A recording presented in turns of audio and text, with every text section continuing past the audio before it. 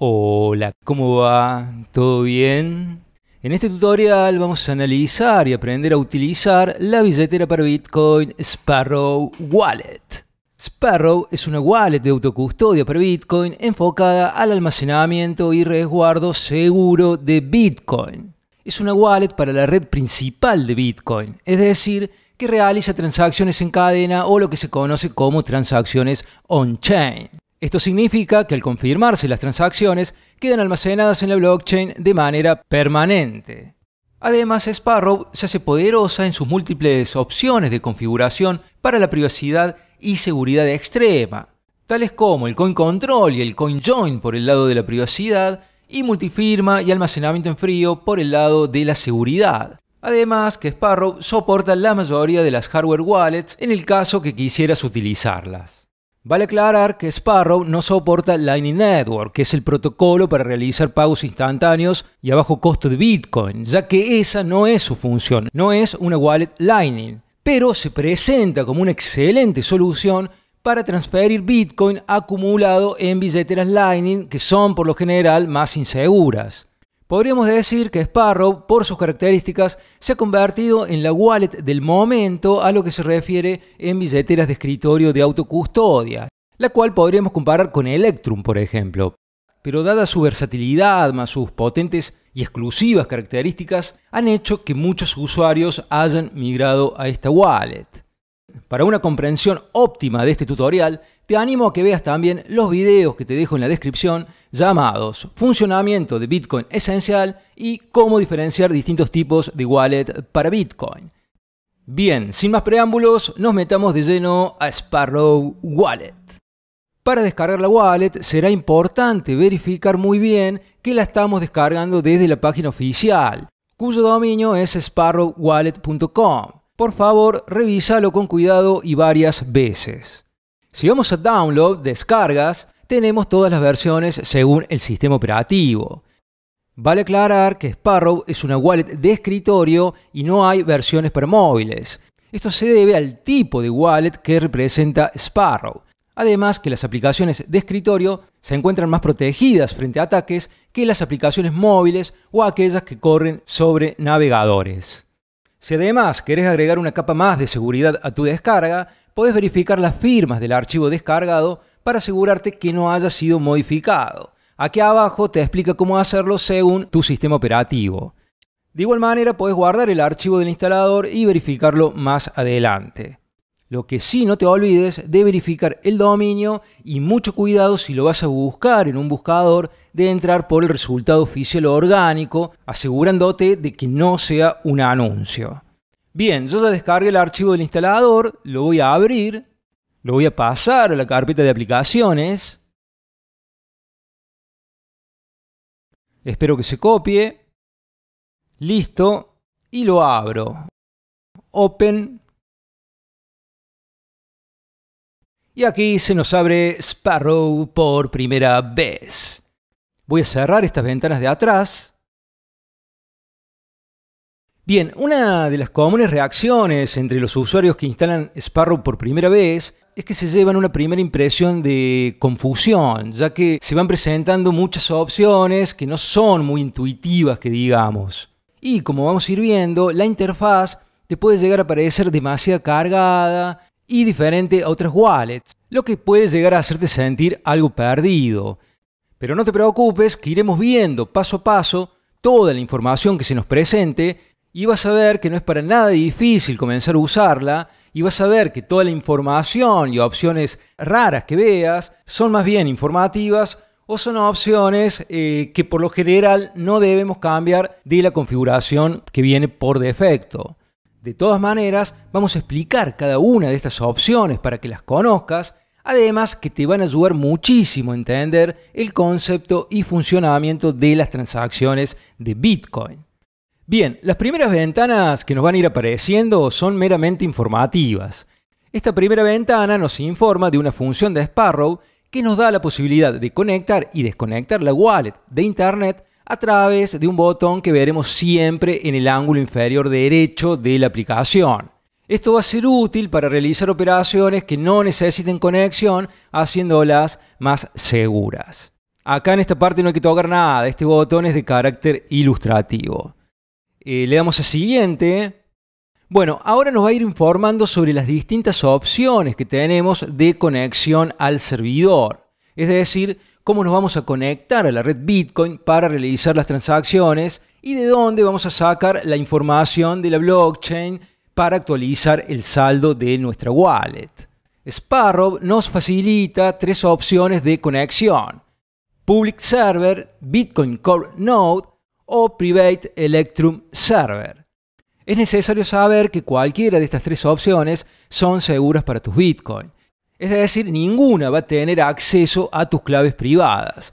El único aspecto en el que varían estos tres tipos de conexiones es en los niveles de privacidad que vamos a ir explicando en cada opción.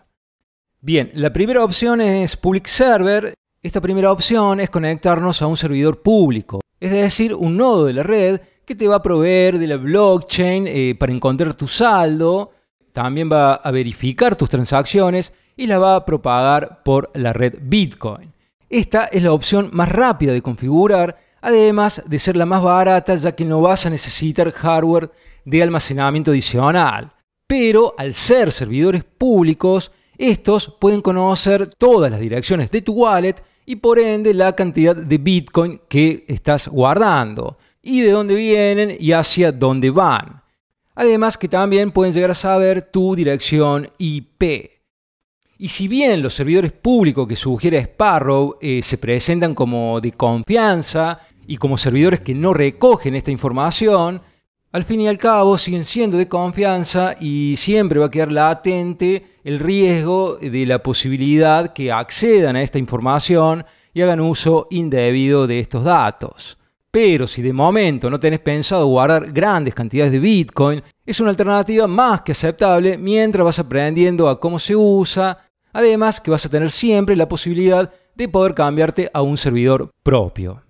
Para este tipo de conexión, Sparrow mostrará el botón de conexión en amarillo, como vemos aquí. Lo mismo que antes, este botón es ilustrativo. Le damos a siguiente. Bueno, aquí nos explica lo que sería conectarnos a nuestro propio nodo de Bitcoin Core. Bitcoin Core Node es la implementación más popular de un nodo completo de Bitcoin. Al descargarte tu propio nodo Bitcoin Core, vas a tener tu propia copia de la blockchain, lo que te va a permitir ser vos mismo quien rastree tus bitcoins en la blockchain para determinar el saldo de tu wallet. Además que serás vos mismo quien valide y mantenga tus transacciones privadas. El único inconveniente que se podría considerar de un relativo riesgo es que Bitcoin Core almacena las claves públicas y el saldo sin cifrar, es decir, desencriptadas, lo que podría quedar expuesta esta información frente a algún tipo de ataque y luego esa información poder ser vendida o hacer un uso indebido. Igual sigue siendo un riesgo de información, no un riesgo de robo de Bitcoin. Entonces, más allá de esta situación que acabamos de ver de los datos sin cifrar, Bitcoin Core se presenta como una alternativa más que interesante teniendo en cuenta además que para instalarlo vas a poder descargarte la versión de modo podado o prune mode, lo que te va a permitir tener tu nodo utilizando poco espacio de almacenamiento. En esta opción, el botón de conexión se mostrará de color eh, verde. Le damos a siguiente y tenemos Private Electrum Server. En este caso, si vas a necesitar descargar sí o sí la blockchain entera, es decir, más de 500 gigas en este momento, más la implementación que vayas a utilizar del servidor Electrum, tales como son Electrum X o Electors, por ejemplo. Eh, con un servidor Electrum no solo vas a ser vos quien valide y mantenga las transacciones de forma privada, sino también que tus claves públicas y transacciones van a ser encriptadas, dificultando detectar tu saldo, lo que significa que estás ganando seguridad frente a los hackers. Bien, vistas esta información sobre las opciones, vayamos a configurar nuestro servidor. Como vemos, tenemos aquí arriba las tres opciones que acabamos de ver. Public Server, que es el que viene activado por defecto, Bitcoin Core y Private Electrum. Nosotros para este tutorial vamos a elegir un servidor público ya que para empezar, y si no vas a guardar grandes cantidades de Bitcoin, es lo suficientemente adecuado, siempre teniendo en cuenta que podrás pasarte a las otras alternativas de nodo propio cuando lo consideres oportuno. Entonces, aquí en el desplegable URL podemos elegir algunos de estos servidores públicos sugeridos por Sparrow y que por lo general todos eh, estarían funcionando bien y serían de confianza. Yo voy a elegir electrum.blockstream.info más que nada porque utiliza como implementación Electors Explora, que suele ser más rápido. De todas maneras, cualquier problema y si ves que no está conectando, puedes cambiarte cuando quieras. Luego aquí abajo tenés para conectar algún servicio de proxy, que sería algo así como un VPN, es decir, utilizar un intermediario para realizar las peticiones y de esta manera eh, ocultar tu IP. Y luego tenemos este botón para testear la conexión. Vemos que se ha conectado y aquí indica que está utilizando Electors Explora como implementación. Bien, una vez que ya hayamos configurado nuestro server, ya estamos en condiciones de crear nuestra primer wallet. Recordemos que Sparrow nos permite crear múltiples wallets. Le damos a Create New Wallet, nos pide que le pongamos un nombre, yo le voy a poner 1 y le doy a Create Wallet. Y se va a abrir nuestra billetera, la cual solo va a tener habilitada el apartado de Settings, en el cual configuraremos el tipo de wallet y la manera en que almacenaremos y gestionaremos nuestras claves. Entonces, eh, lo primero que tenemos aquí arriba es el tipo de política o policy type. Si le damos al desplegable tenemos Simple Signature o firma simple y Multisignature o multifirma. Estas opciones eh, son las firmas que se van a necesitar para poder realizar un gasto, es decir, para que una transacción sea totalmente válida. La firma simple significa que la wallet que vamos a configurar va a gestionar todas las claves privadas necesarias para poder firmar una transacción y que ésta sea válida. Es decir, que solo se va a necesitar la firma de esta wallet. Y la multifirma es cuando las claves necesarias se encuentran repartidas en al menos dos wallets. Por ejemplo, en una transacción multifirma en la que participan dos wallets, para que la transacción sea válida, deberá firmarla cada una de las wallets participantes antes de poder enviarse a la red Bitcoin. Bien, luego tenemos el script type o tipo de script. Cuando ustedes mandan Bitcoin a otra wallet, a otra dirección, tu wallet va a crear una transacción y esa transacción va a llevar implícita las condiciones para que se pueda gastar ese Bitcoin. Esas condiciones están dadas por un script, es decir, un pequeño código de programación que impone estas condiciones. Este script se lo conoce como script de bloqueo y que solo podrá ser desbloqueado por una firma con la clave privada asociada a la dirección que está recibiendo el Bitcoin. Por si te interesa, en el video de la descripción Funcionamiento de Bitcoin Esencial, también te explico en detalle cómo funcionan las firmas criptográficas. Bueno, entonces, estos tipos de scripts que tenemos aquí serían los diferentes tipos de scripts de bloqueo y cada uno de estos scripts va a corresponderse a un determinado formato de direcciones de Bitcoin. Estos scripts se fueron sucediendo unos a otros. Podríamos decir que cada uno es la mejora o evolución del anterior. Algunas de estas mejoras se dieron en nuevas eh, funcionalidades, como fueron la multifirma o los bloqueos de tiempo, además de la mejora en optimización y privacidad de las transacciones. Entonces tenemos Legacy P2PKH, que significa Pay to Public Key Hash, que significa pagar al hash de la clave pública. Cuando nos referimos al hash de la clave pública, nos estamos refiriendo a la dirección de Bitcoin, que sería un identificador único de la clave pública mucho más corto y manejable que la clave pública. Las direcciones para este tipo de script comienzan con 1. Luego tenemos Nested Segwit es una actualización en el protocolo de Bitcoin la cual separa la firma de la transacción, haciendo que las transacciones sean más privadas, más livianas y por lo tanto más baratas.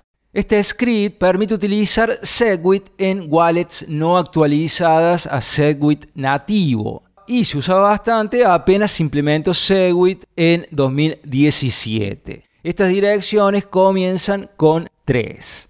Y luego sí tenemos Native Segwit, que implementa Segwit de manera nativa y es el script soportado por las mayorías de las wallets en este momento. Por eso es que Sparrow lo marca por defecto. Estas direcciones comienzan con BC1. Y por último tenemos Taproot, que es el último tipo de script estandarizado y está enfocado a la privacidad de las transacciones, además de soportar eh, programaciones de contratos inteligentes más complejos. Pero aún algunas wallets y sobre todo los exchanges centralizados no la soportan. Estas direcciones comienzan con BC1P. Entonces dejamos Native Segwit ya que es el script más óptimo en este momento. Pero lo que quiero que te quede claro es que todas estas direcciones de Bitcoin son compatibles entre ellas. No es que si vos tenés eh, tu wallet configurada con dirección Segwit y le mandas Bitcoin a una dirección Taproot, esos Bitcoins se van a perder. A lo sumo, la wallet que no soporte algún tipo de dirección no te va a dejar enviar. ¿Ok? Bueno, seguimos con Script Policy. En Script Policy tenemos la definición del descriptor. Los descriptores son las funciones que van a determinar la configuración de nuestra wallet. Existe una función diferente para cada tipo eh, de script que vimos anteriormente. Lo que vemos aquí es un llamado a la función WPKH, que es el que corresponde con el tipo de script de SegWit nativo que elegimos aquí arriba. Si yo cambio el tipo de script, podemos ver cómo cambia la función. Bien, eh, como vemos, esta función eh, está tomando como argumento una variable llamada keystore, que significa almacén de claves. Este argumento va a tomar los datos que se van a generar en este keystore, en este almacén de datos, una vez que hayamos elegido el tipo de almacenamiento de claves públicas y privadas a través de este menú. Una vez que hayamos configurado el tipo de almacenamiento y le demos a aplicar, se va a ejecutar el descriptor y se va a establecer la configuración de nuestra wallet según el tipo de script elegido con su correspondiente formato de direcciones. Si tuviésemos los datos y conocimientos necesarios, podríamos editar por nosotros mismos el descriptor desde aquí, desde este botón editar pero a nosotros no nos interesa tocarlo ya que se va a ir creando automáticamente según las opciones que hayamos elegido en los menús de arriba y en las opciones del Key Store aquí abajo.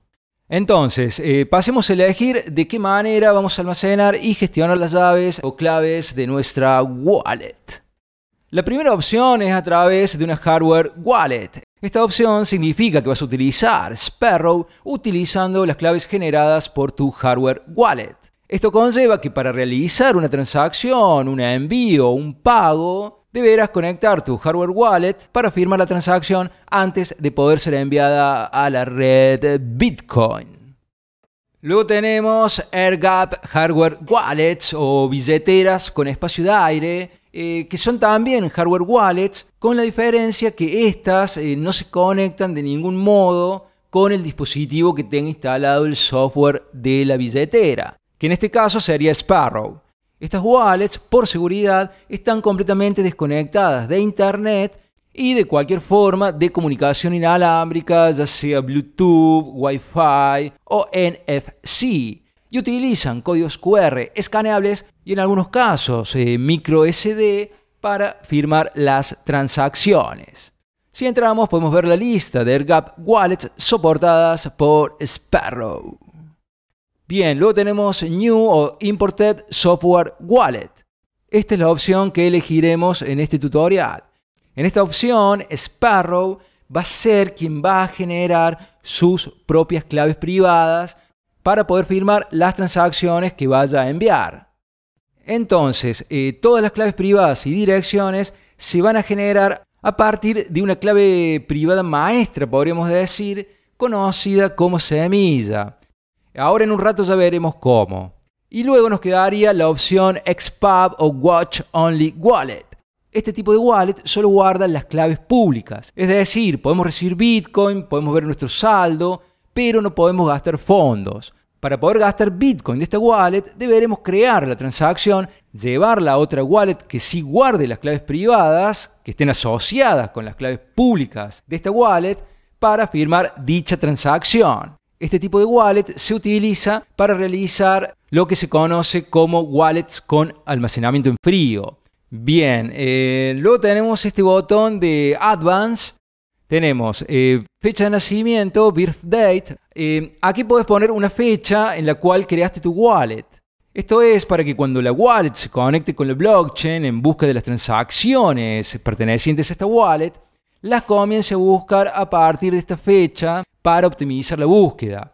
De igual manera, si no pones nada acá, cuando la wallet reciba su primera transacción, se va a establecer esa fecha, lo que ya es suficiente para una correcta eh, configuración y optimización. Eh, luego tenemos eh, lo que es Gap Limit.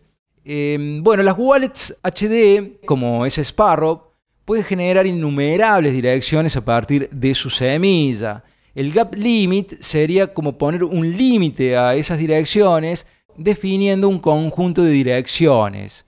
Las direcciones de este conjunto definido son las direcciones que va a ir a buscar la wallet en la blockchain en busca de saldo. Son las direcciones que va a usar tu wallet para recibir Bitcoin. Esto no significa que solo vos vas a poder utilizar 20 eh, direcciones en este caso y luego vas a tener que volver acá a aumentar este límite. Esto significa que cuando utilices una dirección o a partir de la última dirección utilizada, siempre va a haber una brecha de 20 direcciones sin usar. ¿Ok? Y luego abajo tenemos Watch Addresses. Cuando se abre la billetera, todas las direcciones se verifican para poder ser utilizadas para nuevas transacciones. Si has usado muchas direcciones, miles por ejemplo, podés limitar esas verificaciones, obviando las más antiguas, para que la wallet cargue más rápido, eh, siempre y cuando no tengas pensado volver a utilizar esas direcciones antiguas es decir, las que vayan más allá del límite impuesto. Si abrís este desplegable, te da algunas opciones para este límite. Eh, bueno, pero en general, si no tenés pensado hacer un uso masivo de la wallet en este momento, es irrelevante cambiar estas opciones avanzadas. De igual manera, siempre podrás cambiarlas en un futuro. Entonces, como nosotros vamos a crear una wallet con sus propias claves, vamos a elegir New o Imported Software Wallet. Y se nos presentan tres nuevas opciones. La primera es para crear o ingresar una nueva semilla. La segunda para importar el archivo de una wallet Electrum. Y la tercera para importar una Master Private Key. Con estas tres opciones podría restaurar una wallet ya creada anteriormente. Pero en la opción 1, además, te permite crear una nueva wallet que es lo que vamos a hacer nosotros. Bien, para entrar en la primera opción, primero deberemos elegir el tipo de semilla que queremos ingresar o crear. Yo voy a elegir la de 12 palabras ya que sigue siendo extremadamente inviolable, además que va a resultar más fácil la transcripción para la confirmación y para los backups que deberemos realizar. Elijo 12 y se me despliega esta ventana. Bueno, si quisiera restaurar una wallet utilizando alguna semilla que yo ya tengo, copiaría las palabras por orden en estos campos. Como yo quiero crear una nueva, le voy a dar a Generate New. Bueno, eh, seguramente ya lo sabes, pero nunca está de más repetirlo. Estas 12 palabras son las llaves de tus fondos. Si perdes el dispositivo en el que descargaste tu wallet, estas 12 palabras son tu semilla y son las palabras que te van a permitir restaurar tu wallet. Es de vital importancia que copies en un papel estas palabras, que nunca jamás las guardes digitalmente en ningún dispositivo con conexiones a Internet y además deberás hacer varias copias de esta semilla para distribuirlas en diferentes puntos geográficos. Y cuando recibas tu primer pago, deberías probar restaurar la wallet en otro dispositivo usando al menos una de las semillas de alguna de las copias. Además que toda esta información, o al menos la de alguna copia de la semilla, deberá conocerla perfectamente la o las personas de confianza que elijas. Bien, acá me pregunta si quiero utilizar passphrase eh, la idea del passphrase es agregar a la semilla una palabra, frase o conjunto de caracteres eh, que elijamos. Pero la idea de esta palabra es para memorizarla y no para guardarla junto a la semilla. Lo que se busca es que si alguien encuentra tu semilla, al faltar la passphrase, no podrá robar tus bitcoins. Este método agrega una capa de seguridad más a tu wallet importante, pero tenés que tener mucho cuidado porque si llegas a olvidarla, perderías tus fondos. Vos ya vas a determinar si lo usás o no y de qué manera lo usás. En este ejemplo no voy a usar passphrase, igual no lleva mucha ciencia, es solo agregar eh, la palabra o frase. Bien, entonces le damos a confirmar backup me pregunta si ya escribí las 12 palabras. Como yo ya las copié, le doy a Re-Enter Words. Y aquí deberé ingresar las palabras que copié para que Sparrow eh, se mm, asegure que las hayamos copiado bien. Y le damos a Create Key Store.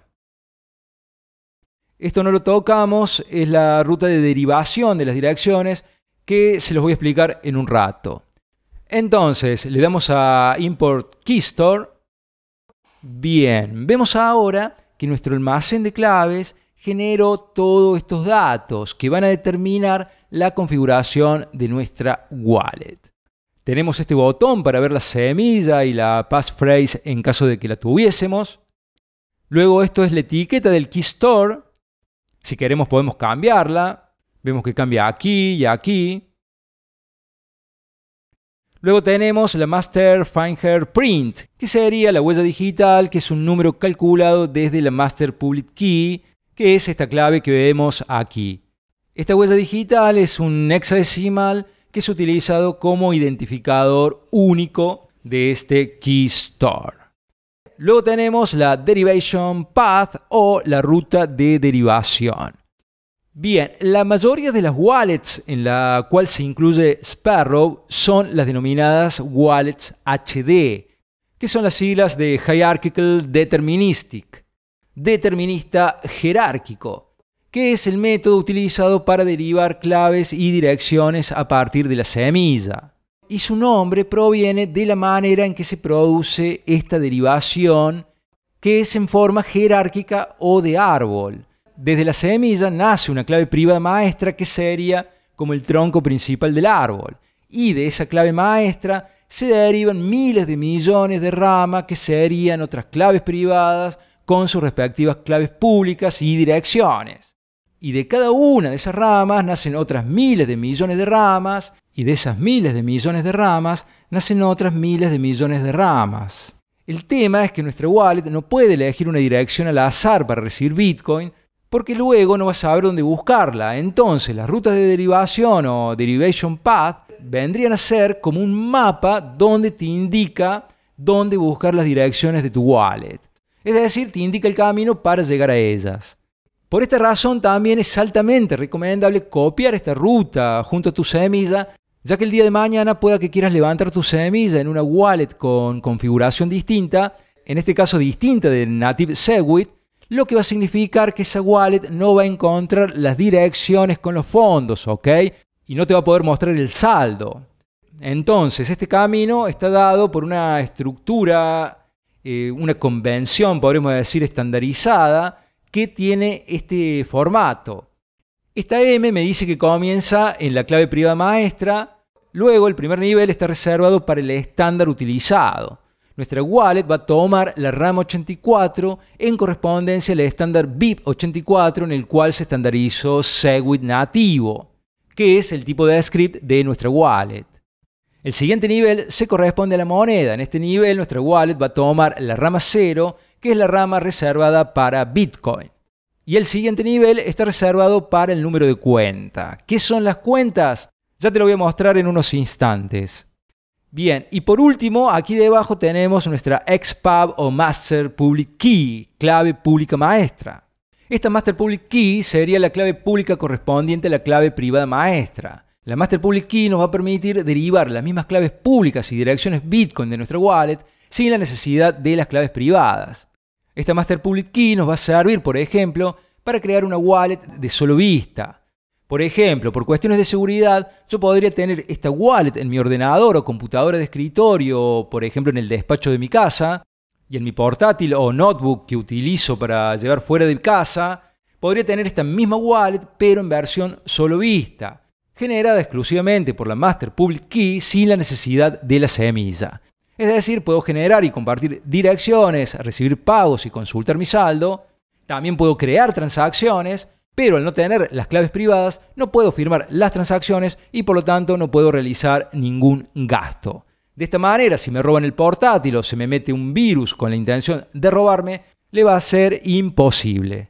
Las Master Public Key también pueden ser útiles para sitios de e-commerce y también son utilizadas para configurar las wallets multifirma que serán tema para un próximo video. Con respecto a la ZPub y la opción esta de cambiarla, podemos no darle importancia. La ZPub es una modificación del XPub que apareció junto con Native Segwit que permitía generar direcciones con formato Native Segwit, es decir, las direcciones que comienzan con BC1. Pero luego de la aparición de los descriptores que estuvimos viendo anteriormente, dejaron de ser necesarias, ya que los descriptores se encargan de crear las direcciones pertinentes según el tipo de script que esté utilizando nuestra wallet. De todos modos, se puede seguir utilizando eh, la ZPub. Y me quedó también este botón de Replace, que sería literalmente reemplazar este wallet con alguna otra que importemos. Bien, entonces le vamos a dar al botón de aplicar para que se ejecute la función y se cree nuestra wallet. Lo primero que me pide es que ponga una contraseña. Es de suma importancia que le agregues una contraseña segura para protegerte en el caso de que alguien tome el control de tu computadora y quiera ingresar a la wallet. No está de más de decir que Sparrow utiliza uno de los mejores métodos de hashing para contraseñas, lo que la hace extremadamente resistente a los ataques. Yo a efectos prácticos de este video le voy a agregar una contraseña débil, pero es de vital importancia que tu contraseña sea fuerte y la guardes en un lugar seguro fuera del dispositivo de la wallet. Es necesario señalarte que esta contraseña es exclusiva de este dispositivo. Si vas a levantar o restaurar esta misma wallet en otro dispositivo con la semilla, deberás crearle otra contraseña. Le damos a Set Password y ya tenemos nuestra wallet creada. Podemos apreciar que ya se activaron todas las opciones de este menú lateral más estos dos botones de exportar, que me da diferentes opciones de formatos para exportar esta wallet. Y también se nos habilitó este botón de agregar cuenta.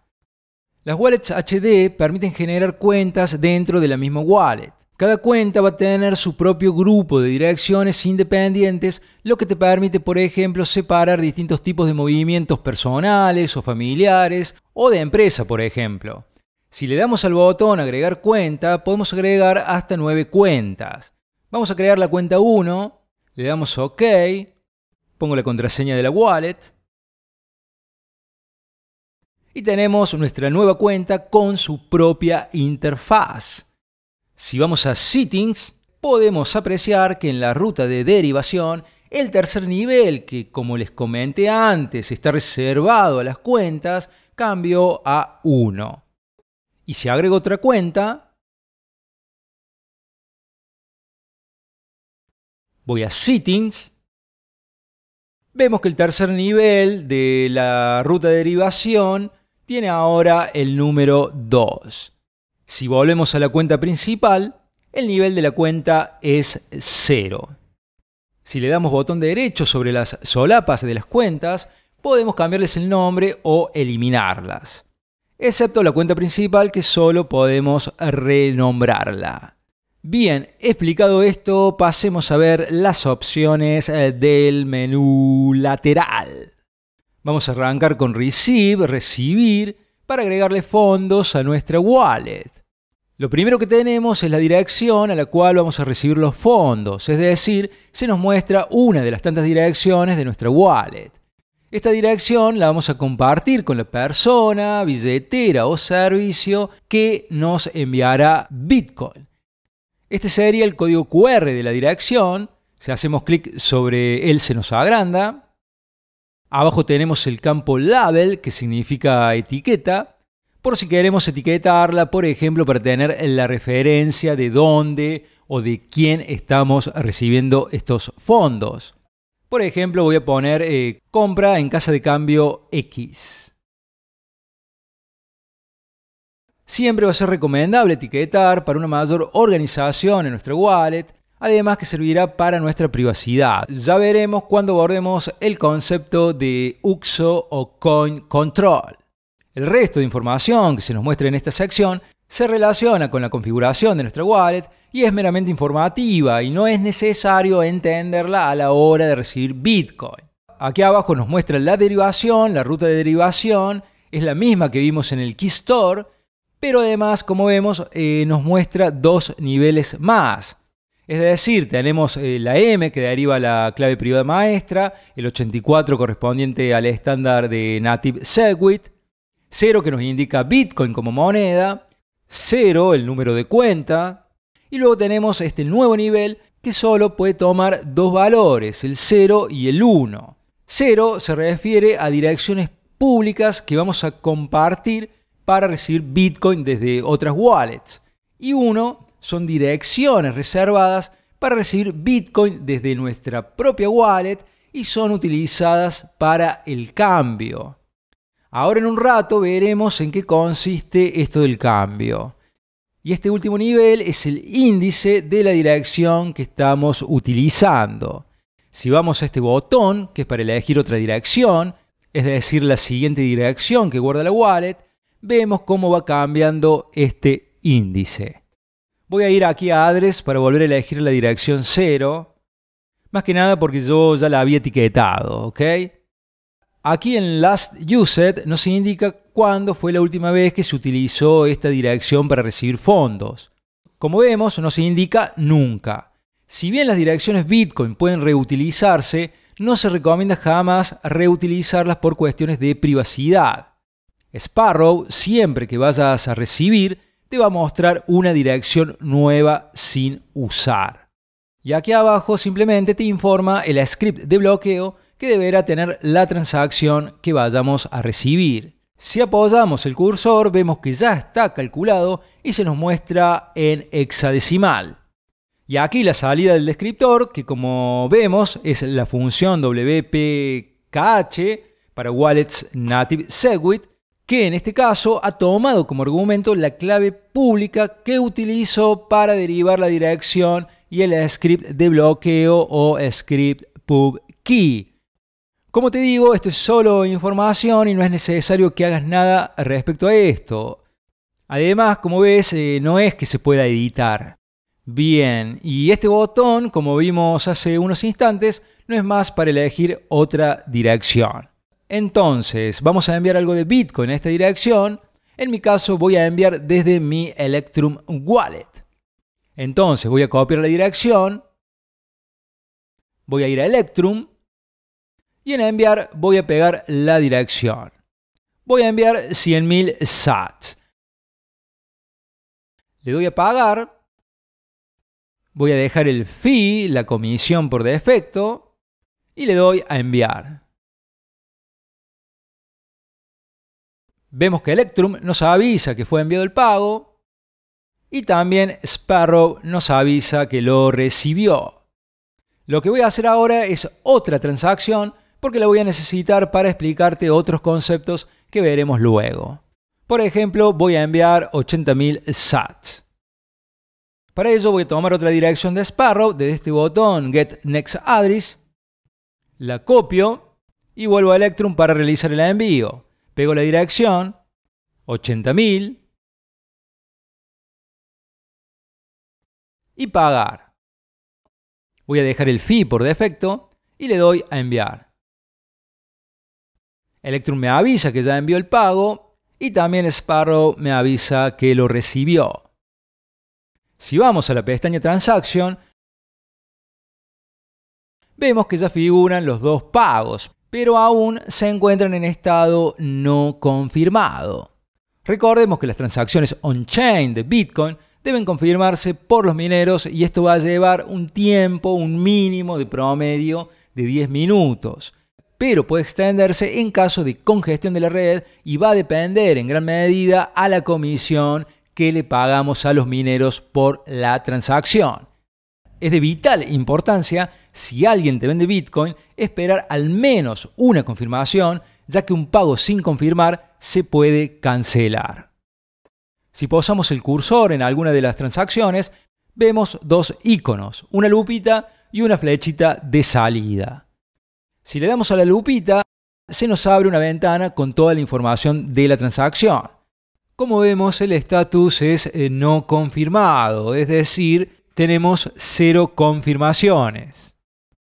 Lo que pasa que al tener cero confirmaciones, la información que se encuentra eh, en este informe se encuentra acotada hasta que se realice al menos una confirmación.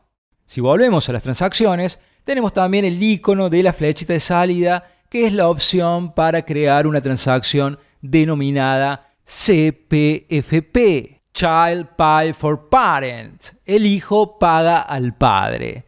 Este tipo de transacción se utiliza para acelerar la confirmación de un pago que estemos recibiendo. Por ejemplo, si esta transacción no confirmada se está demorando demasiado porque el que envió el pago pagó poco fee o poca comisión, y la red está congestionada, tenemos la posibilidad de crear una nueva transacción utilizando las salidas de esta transacción sin confirmar y pagando una comisión suficiente para que los mineros les convenga confirmar ambas transacciones. Si entramos, se nos abre la pestaña de envío con los datos necesarios para realizar la transacción CPFP. La dirección de envío será una dirección de esta misma wallet. Es decir, me envío a mí mismo los 100.000 que estaría recibiendo de la transacción sin confirmar y a esos 100.000 se me va a descontar lo que le vaya a pagar a los mineros. Si voy a Target Blocks, puedo hacer un cálculo de lo que tendría que pagar según el tiempo de espera basado en bloques. Por defecto me pone 512, pero puedo observar que sigue siendo demasiado bajo y que debería esperar más de 50 bloques para que se confirme. Recordemos que los bloques se confirman en promedio cada 10 minutos.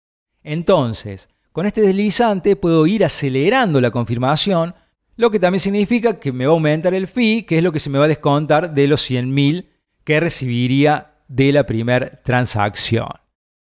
Por ejemplo, si bajo a 25 bloques el fee, aumenta a 1096, por lo que estaría recibiendo 98.904 sats de los 100.000. Si bajo a 10 bloques, se me va a 3605. Y si ya quisiera una prioridad alta y que se me confirmen los próximos bloques, se nos dispara a más de 4000 sats. Entonces, el fee a pagar va a depender exclusivamente de qué tan, de qué tan rápido quiero que se me confirme.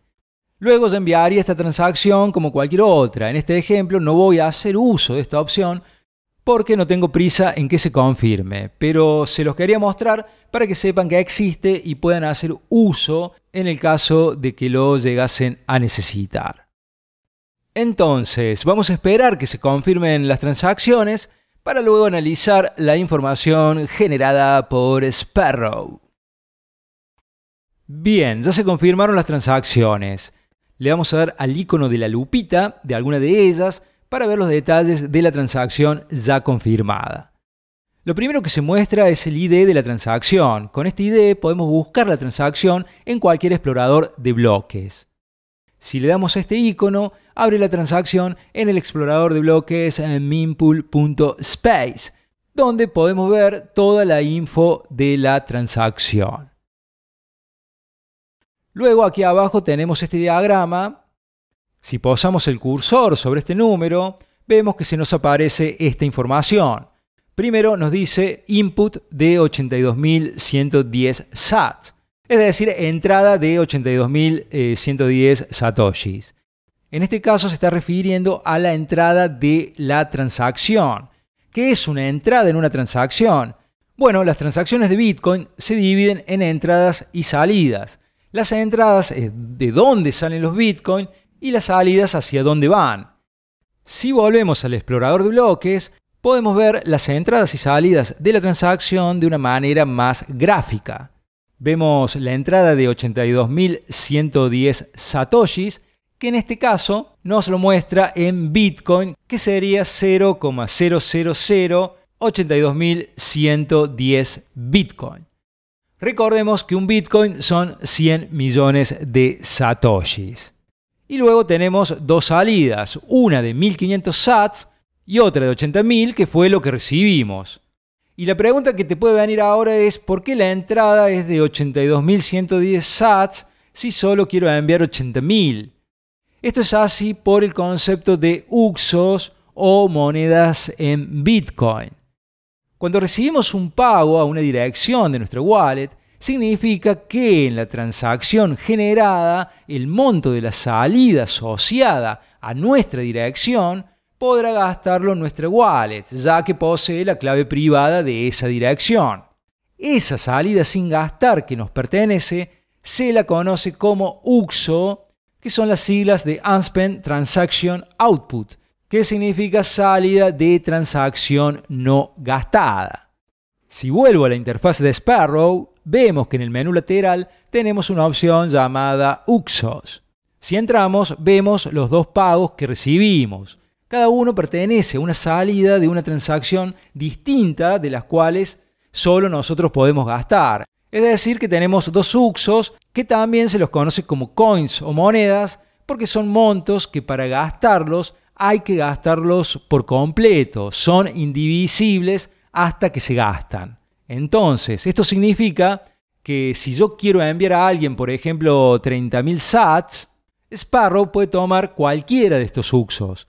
Por ejemplo, si toma el UXO de 80.000, va a crear una transacción donde la entrada serán los 80.000 y además la transacción tendrá dos salidas, una de 30.000 que estará asociada a la dirección que le estamos enviando los fondos y la otra de 50.000, eh, menos la comisión, a una dirección que le pertenece a esta misma wallet como forma de cambio o vuelto.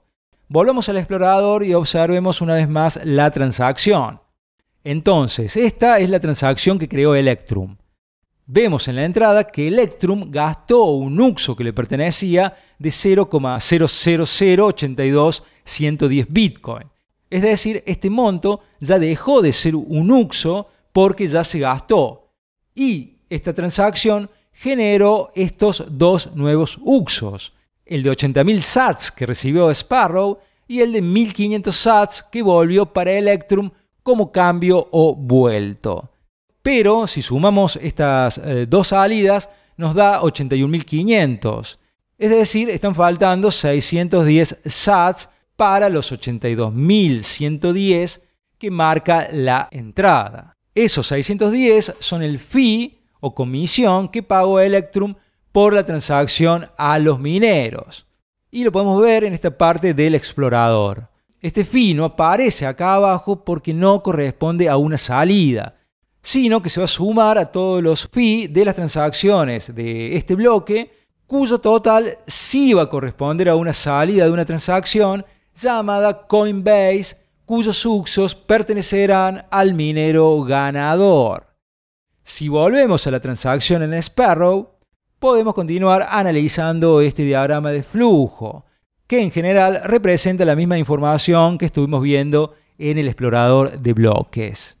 Si volvemos a posar el cursor aquí, vemos la entrada de 82.110 sats. La cadena de caracteres que vemos abajo es el out point o punto de salida, que es un puntero o referencia a la transacción anterior que apunta directamente al uso que se está gastando en esta entrada, es decir, los 82.110 sats. Esta cadena va a servir para la validación de la transacción.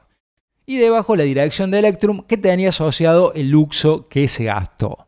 Luego, si apoyamos sobre transacción, nos aparece el peso de la transacción en bytes y virtual bytes y la tasa calculada en satoshis por virtual bytes que se utilizó para calcular el fee o comisión. Ya luego veremos eh, de qué va esto de virtual bytes y cómo se realiza este cálculo. Y luego, como flujo de salida, tenemos la dirección que recibió el cambio de 1500 sats, la dirección que recibió los 80.000 sats, y aquí abajo el fee que se pagó a los mineros, es decir, los 610 sats. Luego, si le damos a la pestaña Details, Detalle, tenemos headers, versión y tipo de transacción. La versión le dice a los nodos y mineros de Bitcoin qué conjunto de reglas usar para validarla. Y el tipo dice qué script usa el emisor para gastar la transacción. En este caso, la versión va a ser 2 y el tipo SegWit. Absolute Lock Time nos muestra el bloque de desbloqueo, es decir, a partir de qué bloque esta transacción es válida. Luego, cuando veamos envíos, abordaremos este concepto para que lo puedas entender bien. Luego tenemos size, sería el tamaño de la transacción en bytes y virtual bytes. En bytes representa el tamaño total de la transacción, podríamos decir el peso de la transacción sin procesar y Virtual Bytes es la misma transacción pero con el descuento de peso que se gana al utilizar Segwit. Es decir, una transacción que no utilice Segwit va a pesar lo mismo en bytes y en Virtual Bytes. Luego tenemos el, fee, la comisión, tenemos el monto, es decir, los 610 sats que pagó esta transacción a los mineros, rate o tasa, que en este caso se pagó 4.35 sats por cada virtual bytes, lo que significa que el monto del fee será el rate o la tasa por los virtual bytes que pesa la transacción. Y luego aquí en blockchain tenemos información sobre el bloque que contiene a esta transacción. El status me indica la cantidad de confirmaciones que tiene la transacción. Vemos que tiene un montón porque, bueno, la verdad, eh, me colgué un poco desde que se confirmó. Pasaron dos o tres días, así que por eso muestra esta cantidad. Eh, la altura del bloque es el número de bloque en el que se encuentra la transacción. El timestamp, que sería la fecha y hora en que se minó el bloque que contiene esta transacción. También estos conceptos están explicados en profundidad en el video de la descripción Funcionamiento de Bitcoin Esencial. Bien, pasemos ahora a los detalles de los inputs y outputs, entradas y salidas, desde este menú lateral. Si vamos a inputs, tenemos una sola entrada, count 1, el monto de la entrada. Aquí firma 1 de 1 quiere decir que se desbloqueó con una sola firma, es decir, no desde una dirección multifirma. Y aquí abajo vemos un gráfico con las proporciones de las entradas. En este caso se muestra así porque esta transacción tiene una sola entrada, que es la entrada asociada a esta dirección. Recordemos que se pueden usar muchas entradas para una transacción. Pasemos ahora a los detalles de la entrada o input 0, que en este caso es la única entrada de esta transacción. Bueno, primero se nos muestra el outpoint, que como dijimos hace un rato, es una referencia al uso de la transacción anterior qué se está gastando en esta transacción, ya que abajo el monto y la dirección asociada a ese UXO. Aquí en script se nos estaría indicando el script de desbloqueo. Al ser Segwit, se muestra en el campo Witnesses, el cual contiene la firma de quien nos está mandando el Bitcoin más la clave pública que sirvió para verificar la firma. Recordemos que la dirección asociada al UXO que gastó Electrum no es otra cosa que un hash de esta clave pública. Y como ven, si posamos el cursor, nos aparece la firma y la clave pública en hexadecimal. Fíjense que acá abajo tenemos la transacción completa en hexadecimal. Si la copiamos y vamos a cualquier decodificador de transacciones, por ejemplo este, BlockCipher, la pegamos aquí nos aseguramos que esté en Bitcoin y le damos a decodificar. Vemos que nuestra transacción se decodificó en una estructura JSON con toda la información. Si vamos a la clave inputs, vemos que contiene eh, como valor un array de objetos donde cada objeto va a ser una entrada. En este caso, como tenemos una sola entrada, sería un solo objeto. Y dentro tenemos la clave witness, que por valor tiene una array con la firma y clave pública. Y si nos fijamos, son los mismos valores que se nos mostraron en Sparrow. Eh, bueno, nada, esto era solo por curiosidad. Bien, volvemos a la transacción.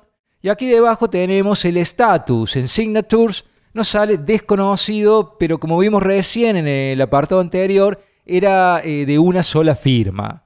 Y vemos también que tiene habilitado RBF, que significa Replace by Fee. Esto ya te lo voy a explicar un poco más adelante con un ejemplo.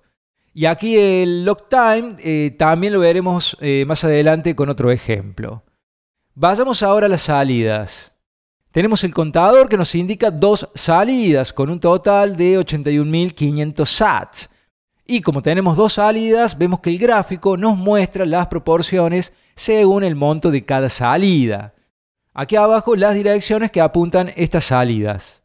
Luego tenemos los detalles de cada salida. Si entramos, nos muestra el monto de la salida y la dirección a la que apuntan. Además, si se gastaron o no. Y abajo la script de bloqueo, que podemos ver su valor posando el cursor sobre el nombre de la función. Entonces, esta sería la salida 0 y lo mismo sería para la salida o output 1. Bien, volvamos a Sparrow y veamos cómo realizar un envío. Para ello iremos al apartado Send. Tenemos el primer campo, Pay to, pagar a, en el que pondremos la dirección a la que queremos enviar. Si abrimos este desplegable, nos da opciones por si quisiéramos enviar a direcciones de esta misma wallet.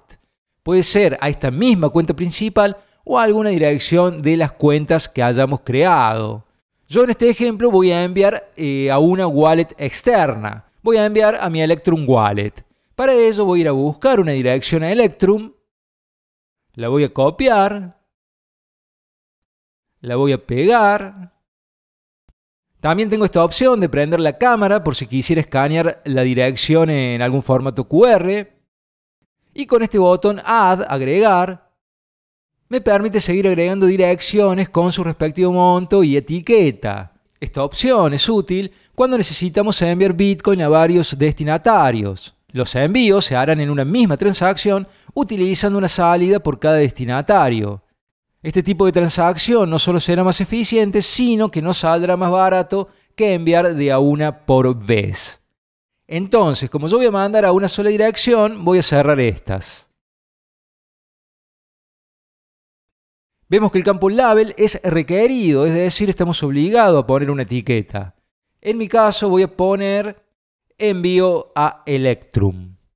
Y en monto voy a poner 120.000 sats. Acá podemos cambiar la denominación, por ejemplo, a Bitcoin si quisiéramos. Y con el botón Max por si queremos enviar todo el saldo de la wallet, es decir, si quisiéramos vaciar esta wallet. Voy a poner otra vez los 120.000. Bien, pasemos ahora a lo que es la configuración del fee o comisión que debemos pagar a los mineros. Algo que tenés que tener en cuenta es que las comisiones no se basan en porcentajes sobre los montos enviados, sino por el tamaño o peso de las transacciones a las que se le aplicará una tasa variable que aumentará en el caso de congestión de la red. Lo que significa que si en momento de congestión queremos que nuestra transacción se confirme rápidamente, deberemos pagar más. Bien, entonces aquí tenemos estos dos botones, Target Block y Minpool Size, que serían dos maneras de visualizar las variables según el fee que vayamos a pagar. Bien, aquí en Target Blocks tenemos este deslizante Blocks que nos muestra una estimación en cómo va variando la tasa según el bloque en que querramos más o menos que se confirme la transacción. Como vemos, si en este momento queremos una prioridad alta, es decir, que se confirme en los próximos bloques, deberemos pagar unos 17 sats por virtual byte, lo que significa que pagaríamos 3.536 sats de fee o comisión.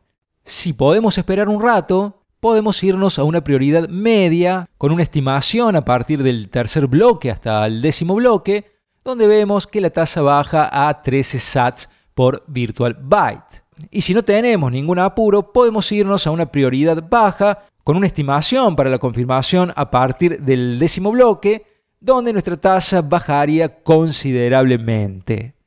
Y si realmente no tenemos ninguna prisa y podemos esperar hasta días, podríamos ir aquí abajo y poner directamente el fee que queremos pagar. Por ejemplo, 300. Bueno, y aquí al lado es la misma información que se nos muestra en este gráfico de coordenadas, donde X representaría los bloques y Y o la Y representaría la tasa. Bien, si vamos a Mean Size, es otra forma de ver el fee. Esta manera es útil si nos queremos basar en la tasa, en el rate. Por ejemplo, si queremos pagar el mínimo, que es un Satoshi por Virtual Byte, podemos ver que en este momento son 209 eh, sats. O si quisiéramos pagar, por ejemplo, 10 Satoshis por Virtual Byte, movemos el deslizante y vemos que tendríamos que pagar unos 2100 sats por la transacción. Y en el gráfico del lado podemos ver el tamaño del mempool en megas y si apoyamos el cursor podemos ver el peso que suman los distintos rangos según los precios de la tasa o rate que se esté pagando. Bien, voy a volver a Target Block, voy a elegir una prioridad baja, en este caso unos 4,24 sats por virtual bytes, que hace un total de 881 satoshis. Bien, y aquí abajo se nos muestra un diagrama de flujo similar al que vimos en la transacción que recibimos con sus entradas y salidas. Y de igual manera que en el anterior, si vamos posando el cursor, ampliamos la información de cada una de estas ramas. Luego tenemos estos dos botones, eficiencia y privacidad. Eficiencia, que es el botón activado por defecto, y significa que la transacción se construirá de la manera tradicional, es decir, utilizando los usos convenientes para una mayor eficiencia, lo que va a significar que vas a pagar menos comisiones por ser transacciones más livianas. Luego el botón privacidad incorpora a la transacción conceptos como CoinJoin o PNIM. Estos métodos se basan en protocolos enfocados a la privacidad en el que se hace una especie de juego de usos propios y de terceros, consiguiendo despistar a los espías de transacciones ya que se dificulta de dónde y hacia dónde van los pagos, y todo esto sin comprometer eh, la seguridad de Bitcoin. Usando estas opciones, vamos a conseguir transacciones mucho más privadas, pero menos eficientes, lo que conllevará a más gasto en comisiones y tiempo para la configuración. Pero este tema lo vamos a dejar para otro video exclusivo, ya que es un tema que necesita explicarse bien para que puedas entenderlo correctamente y además no quiero recargar demasiado este video. Entonces, vamos a dejar marcado eficiencia en el tipo de optimización. Este botón es para limpiar todos los campos por si los quisiéramos cambiar por otros datos. Y finalmente tenemos Create Transaction. Le vamos a dar y bien, se nos abre los detalles de la transacción en una pestaña nueva de la misma manera de cuando abrimos la transacción en la que cuando habíamos recibido Bitcoin, con la diferencia que esta transacción aún necesita algo más de configuración y además hace falta firmarla. Si vemos en el menú del costado, vemos que tiene la misma estructura de la transacción en la que recibimos Bitcoin, es decir, la información general más la información de las entradas y salidas. Entonces, aquí tenemos el ID de la transacción, el diagrama de flujo de las entradas y salidas. Como podemos apreciar, en este caso tenemos dos entradas, ya que para enviar los 120.000 debimos usar los dos uxos que teníamos, es decir, el de 80.000 más el de 100.000. Y en las salidas tenemos los 120.000, el cambio, que son 59.119, que serían los 60.000 menos el fee o comisión que le pagamos a los mineros que como se nos muestra aquí es de 881 sats. Y si le damos a detalles, tenemos la versión. Eh, la versión, como dijimos anteriormente, simplemente indica a la red qué conjunto de reglas utilizar para validar la transacción. Como vemos, solo me permite poner uno o dos. 2 es la versión que viene por defecto, pero si pones uno no pasa nada, ya que cualquier nodo de la red puede validar cualquiera de estas dos versiones. Vamos a dejar la versión 2, que es la óptima para este tipo de transacción. Luego tenemos Absolute Block Time, que es una función más que interesante que nos permite poner una fecha o un determinado bloque de altura para que esta transacción solo sea válida y se pueda enviar a la red cuando haya alcanzado el bloque o fecha determinada. Por ejemplo, esta opción se podría utilizar para regalarle esta transacción a algún niño para que pueda gastarla, por ejemplo, a partir del día en que cumple 18 años.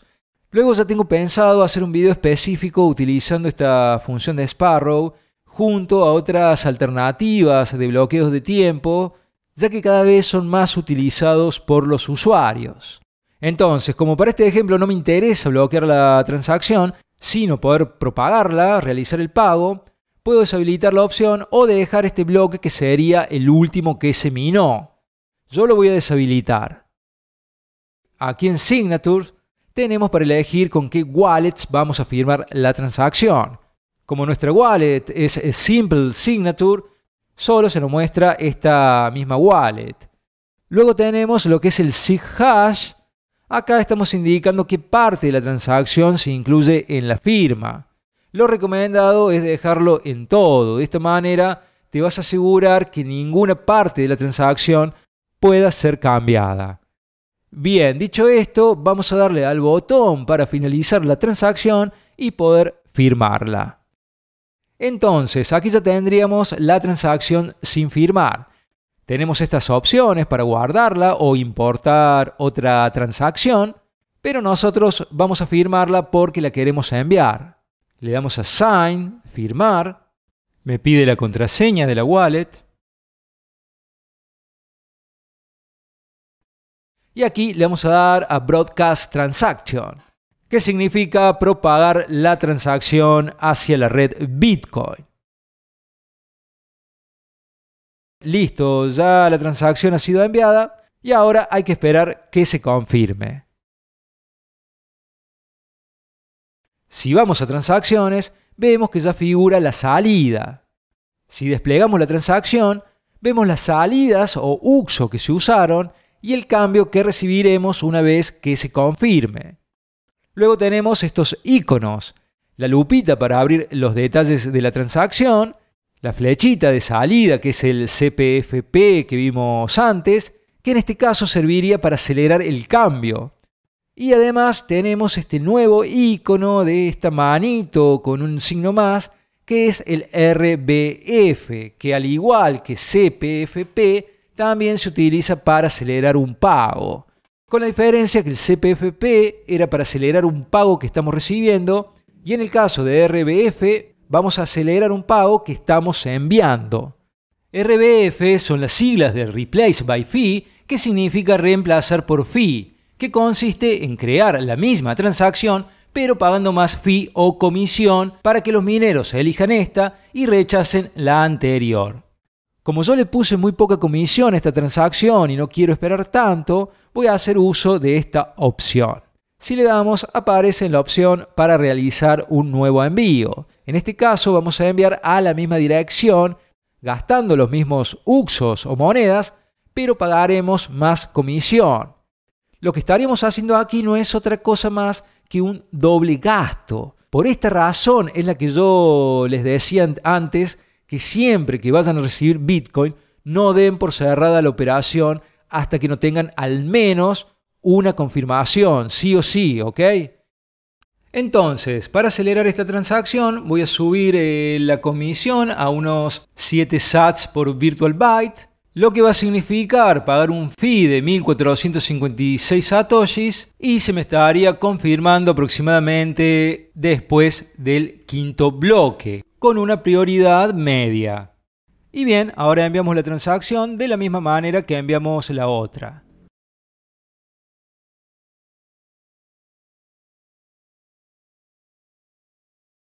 Listo, entonces si volvemos a transacciones, tenemos la transacción aún sin confirmar. Pero esta es la nueva que acabamos de hacer con mayor fee. Y por último vamos a revisar algunas funcionalidades que quedaron por ver en los apartados de addresses y uxos.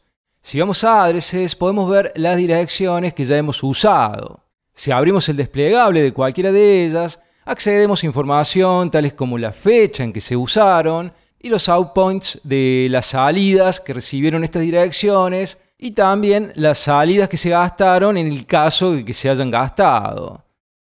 Luego aquí abajo tenemos las direcciones reservadas para el cambio. Tenemos esta primera que fue la dirección que se estaba usando para el cambio de la primera transacción antes de realizar el RBF. Como vemos, quedó etiquetada, pero no se usó ya que la transacción fue reemplazada. Y debajo tenemos la dirección de cambio que se está usando en la nueva transacción RBF que aún está sin confirmar.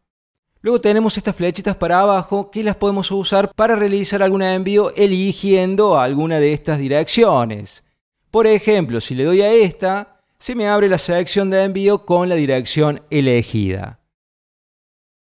Y luego tenemos esta plumita que sirve para firmar o verificar mensajes usando las claves públicas y privadas asociadas a alguna dirección. Por ejemplo, escribo un mensaje le doy a firmar, me pide la contraseña de la wallet y me genera la firma. Yo podría enviar estos datos a otra persona y ésta puede verificar que yo soy el verdadero dueño de esta dirección y que el mensaje no fue alterado. Bien, luego si pasamos al apartado UXOS, les quería mostrar el concepto de Coin Control que nos da la posibilidad de poder elegir qué uso o moneda queremos gastar. Recordemos que cuando recibimos un pago, ese pago representa un uso o moneda que yo podré gastar. Si vamos a un uso y le damos botón derecho, tenemos estas dos opciones, Send Selected y Freeze UXO. Si le doy a Freeze UXO, yo me estoy asegurando que mi wallet no va a usar este UXO para realizar cualquier pago. Esto puede ser útil, por ejemplo, si yo transfiero mi Sparrow Bitcoin desde una exchange que tiene asociados mis datos y luego quiero hacer un pago, pero no me interesa que se use ese UXO por cuestiones de privacidad. Y Send Selected sería lo contrario, solo voy a usar los UXOs seleccionados para realizar un envío. Si le damos, vemos que se abre la opción de envío, el cual solo se está usando el uso seleccionado. En este caso, que solo tengo un solo uso, no tiene mucho sentido, pero teniendo varios usos, me permite controlar qué moneda estoy usando para realizar mis pagos y siempre tendré la posibilidad de frizar varios usos o elegir varios usos para gastar. Luego tenemos este botón de Mix Select que es para hacer un mixing o coin join, que como les dije anteriormente lo veremos en un próximo video. Y luego este botón Send Selected en el caso de haber seleccionado varios usos para gastar. Bueno, bien, yo creo que hasta aquí suficiente para este video. Más que nada era para eh, dar una idea de lo que es toda la interfaz de Sparrow, que por lo general suele presentarse como un poco confusa.